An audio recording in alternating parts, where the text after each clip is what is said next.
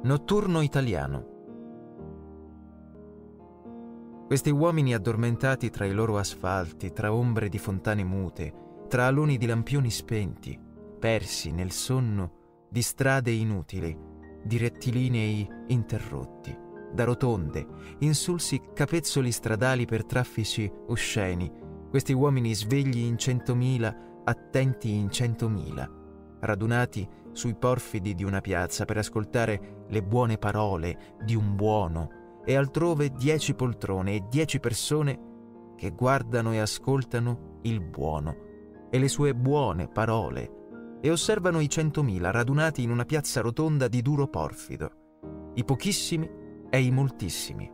I dieci si alzano dalle comode poltrone e spengono la buona parola. Centomila voci, centomila colori spariscono.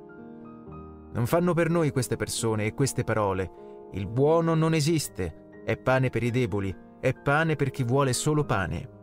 Noi vogliamo altro, noi vogliamo e abbiamo il mondo. Questi italiani dormienti, in attesa di qualcosa, sempre di qualcuno, sempre di un altro che li svegli per loro.